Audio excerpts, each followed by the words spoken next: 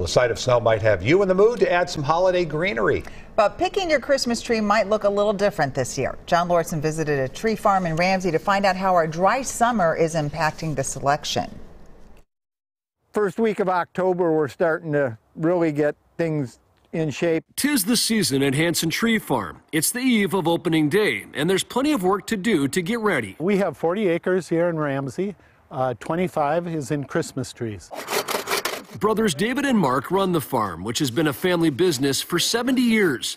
They have about 10,000 Christmas trees ready to be cut. But this year will be different. Prices will be up slightly due to drought. It was brutal. The trees this year didn't grow as much, the big trees. And uh, so it was really brutal, is the word. Ideally, during the growing season, their trees would get about an inch of rain a week. But the Hansens say they got just one inch of rain over a three month stretch. As a result, about 10% of the trees they planted the past two years were lost. This balsam fir shows the impact the drought had on tree farms. It was planted two years ago, but because it didn't survive the summer, it'll have to be replaced. This was the worst I'd ever seen. Um, if we didn't have irrigation, basically, I don't think any of the trees we planted this year would have survived. They're worried the loss could lead to a Christmas tree shortage in future years. Still, last year was a record year, and they're expecting more of the same this season.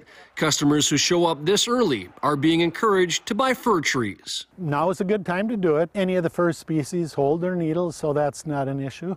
Uh, a spruce, if you're looking for a spruce, don't get it until Thanksgiving. In Ramsey, John Lauritsen, WCCO 4 News.